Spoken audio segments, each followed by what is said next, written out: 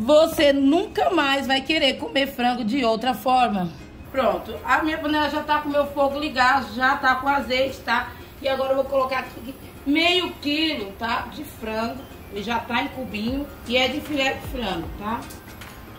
E vamos temperar tudo isso aqui. Vamos temperar com pimenta.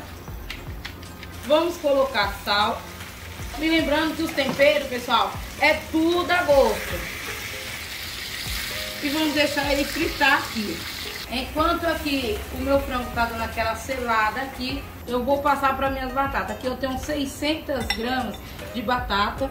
Eu vou dar aquela massadinha aqui, amassa muito bem, que é tipo um purê que nós vamos fazer. Prontinho, já tá tudo amassadinho, nós vamos colocar aqui só um pouquinho de sal, porque ela realmente já tá cozida. Pimenta do rei, a gosto, tá? Você bota o tanto que você quiser. Eu gosto de pimenta, eu vou arrochar na pimenta aqui. Vamos colocar aqui salsa e cebolinha. Vamos dar aquela misturadinha aqui, ó. Prontinho. E vou reservar aqui. Olha só como ficou o meu frango bem fitinho, tá? E agora vou colocar todo ele aqui, ó. Tá vendo? E ele tá quente. E vou reservar também. E aqui com a mesma frigideira, eu vou colocar aqui a manteiga, que é uma colher de sopa de manteiga. Prontinho, ó, já derreteu. Aqui eu vou colocar dois dentes de água, uma cebola picada. Prontinho, já coloquei tudo aqui. Agora eu vou desligar o meu fogo e vou acrescentar aqui páprica doce. Só um pouquinho, tá, gente? E vamos colocar uma colher de sopa de farinha de trigo e vamos mexer aqui, ó. E logo em seguida nós vamos colocando aos poucos o leite para poder não empilotar. Ó, você coloca um pouco e vai mexendo. E é assim, mais um pouco e vai dando aquela mexida. Vamos colocar mais um pouquinho. E assim eu vou fazer com todo o meu leite aqui. E vamos colocar aqui meia xícara de requeijão e vamos continuar mexendo aqui, tá? E agora nós vamos colocar o nosso frango aqui que nós acabamos de fritar aqui. 300 gramas de brócolis, já tá cozido, já tem sal. Vamos continuar mexendo aqui também.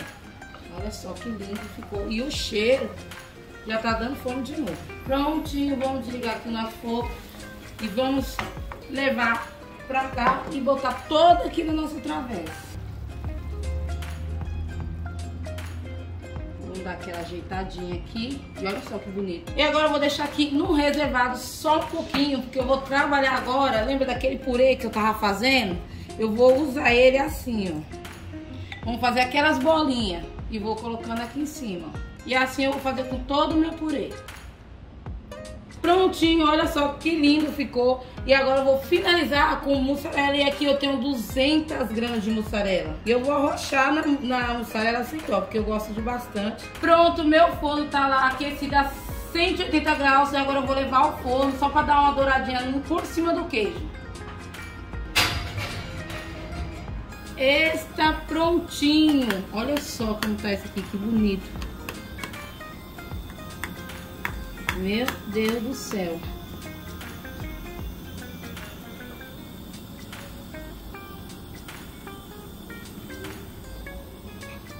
Olha só o queijo aqui, junto com franguinho, junto com brócolis. Chegou a melhor hora que eu mais gosto, né? Tá comendo. Bora!